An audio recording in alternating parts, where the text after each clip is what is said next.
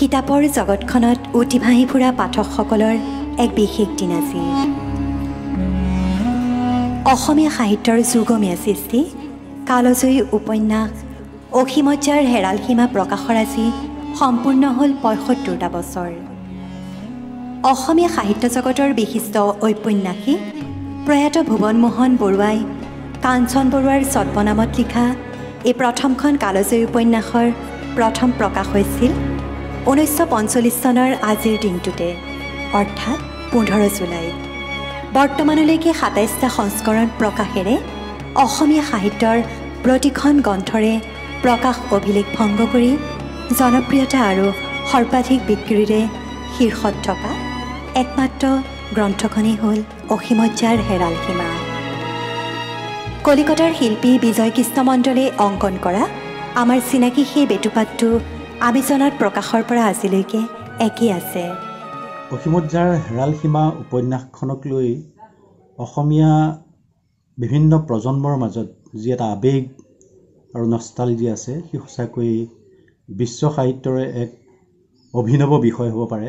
ঊনৈছশ পঞ্চল্লিছ চনৰ পোন্ধৰ জুলাইত এই উপন্যাসখন প্ৰকাশ পাইছিলে। কাঞ্চন বৰুৱা ছদ্মনামেৰে ৰচনা কৰা এই উপন্যাসখনে প্ৰজন্মৰ পাছত প্ৰজন্মক কেনেদৰে আলোড়িত কৰি আহিছে সেই কথা নতুনকৈ কোৱাৰ কোনো প্ৰয়োজন নাই।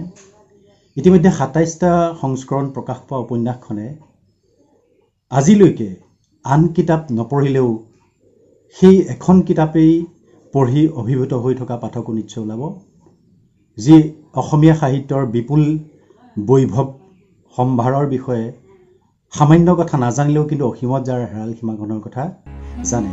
অসীমত যাৰ হেৰাল সীমা। উপন্যাসখনিক নাট্যৰূপ দি অসমৰ জনপ্ৰিয় ভ্ৰাম্যমান গোষ্ঠী কহিনুৰ থিয়েটাৰে দুবাৰকৈ নাটকখন মঞ্চস্থ কৰিছিল। কথাটো ক'বলৈ গ'লে it's like a new born baby আজিও ইয়াৰ এটা বেলেগ সুকীয়া সুকীয়তা আছে উপন্যাসখনৰ। মই দুই হাজাৰ ন দহ চনত এইখন নাটক মই মঞ্চস্থ কৰিছিলোঁ। অসমৰ বহুত দৰ্শকৰ তাগিদাত। নাইনটিন নাইনটি ছেভেন এইটিজত দেউতাই এইখন নাটক কৰিছিল তিনিখন মঞ্চ মঞ্চত কৰিছিলে। আৰু সেইখিনি মোক সাংঘাতিক পপুলাৰিটি হৈছিলে নাটকখনৰ। আৰু যেতিয়া মই ভাইমহন থিয়েটাৰত সোমাওঁগৈ সেইখিনি সময়ত বিভিন্ন দৰ্শক বিভিন্ন মানুহৰ তাগিদা পাইছিলোঁ যে নাটকখন পুনৰ মঞ্চস্থ কৰাৰ কাৰণে। হয়তো দেউতাও তেনেকুৱা ধৰণৰ তাগিদা পাইছিলে। আৰু সেনেকুৱাৰ তাগিদাৰ খাতিৰতে আমি দুই হাজাৰ ন আৰু দুই হাজাৰ দহ চনৰ এই নাটকখন মঞ্চস্থ কৰিছিলোঁ যতীন কিতাপৰ পাতৰ প্ৰতিটো চৰিত্ৰক দৰ্শকে চকুৰ সন্মুখত পাই আঁকোৱালি লোৱা নাটকখনৰ পৰাই চৰিত্ৰসমূহত অভিনয় কৰা শিল্পীসকলৰো এক চিনাকি হৈ পৰিছিল চন্দন চম্পা অথবা গৌৰী হিচাপে। দুহেজাৰ ন দহ নাট্যবৰ্ষত কহিনুৰ থিয়েটাৰত প্ৰয়াত ৰতন লহকৰদেৱে মঞ্চস্থ কৰিছিল এখন খুব সুন্দৰ কালজয়ী নাটক। সেই নাটকখন হৈছে অসীমজ্যাৰ হেৰাল সীমা। সেই নাটকখনত পৰিচালনা কৰিছিলে হেমন্ত দত্তদেৱে।